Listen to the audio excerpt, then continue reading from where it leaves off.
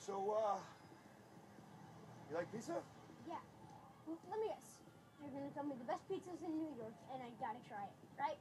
Actually, it's in the Kingdom of Marion on the North Shore of the Dragon Fields of Zorn.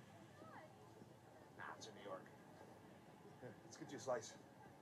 So you're really from there? Yeah, I am.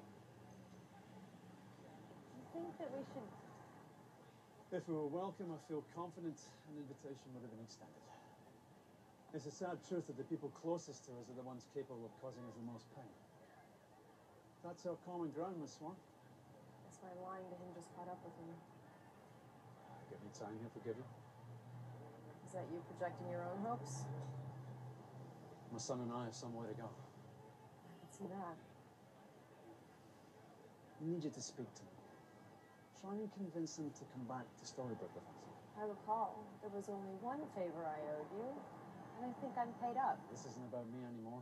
You'll do it for Henry. How do you figure that? Well, because if you don't, you're going to wake up one morning and discover he's hopped on a bus back to New York. He ran away to Boston to be with you.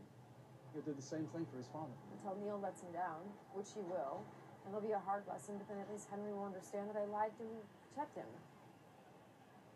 Someone's beginning to sound a lot like Regina. I think the real reason you lied is to protect yourself that supposed to mean? from getting hurt again. It's not happening. You want a second chance with that man. What makes you think that? The look in your face. You have no idea. What are we talking about? Emma, Neal wanted to show me the museum. Do you think we can go back to the apartment and get my camera?